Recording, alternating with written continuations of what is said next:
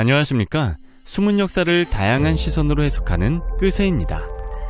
이번 편에서는 본격적으로 투후 김일제의 후손인 신라의 김알지, 가야의 김수로가 흉노 지역에서 한반도로 동천하는 연유에 대해 알아보려고 합니다. 그 이유는 중국 한나라 말 커다란 변혁이 일어났기 때문입니다.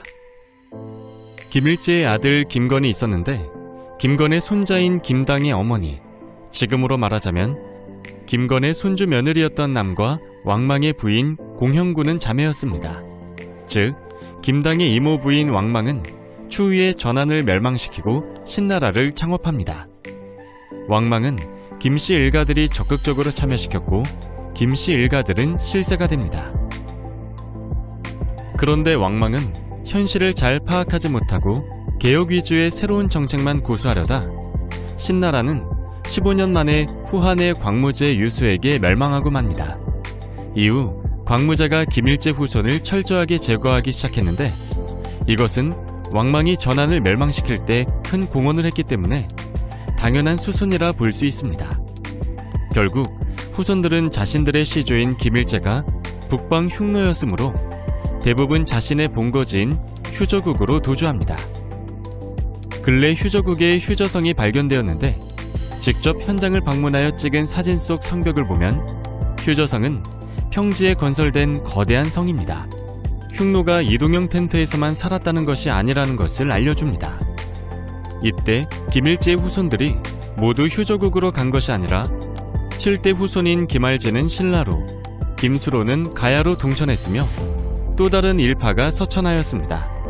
이를 증빙하는 자료로 한반도 서북 지역, 김해 지역, 제주 지역에서 왕망시대에 사용된 화폐인 오수전이 많이 출토되는데 이것은 김씨 일가들이 국외로 도피할 때 가져갔기 때문으로 추정합니다. 김일제의 후손이 중국에서 철퇴를 막고 각지로 분파되어 각지에서 근거지를 확보하는데 많은 사람들이 궁금하게 생각하는 것은 김일제의 후손으로 막강했던 김알제와 김수로가 왜 한반도의 가야와 신라로 동천했느냐입니다.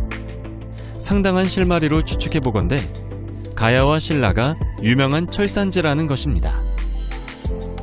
원래 기마민족은 말, 무기, 마구가 필수이므로 철의 확보가 가장 중요한데 한반도 남부는 과거로부터 철로 유명합니다.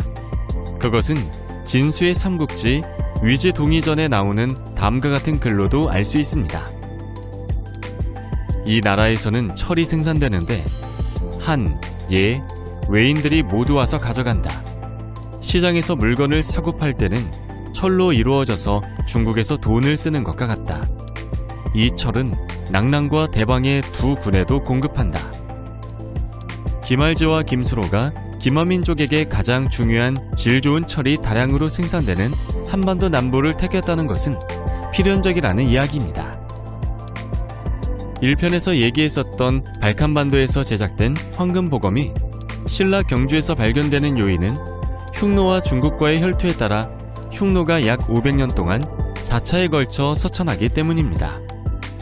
서천하는 흉노의 주력 부대를 김일제의 후손으로 추정하는데 서천한 흉노 중에서 훈족, 즉 아틸라가 태어났다고 추정합니다.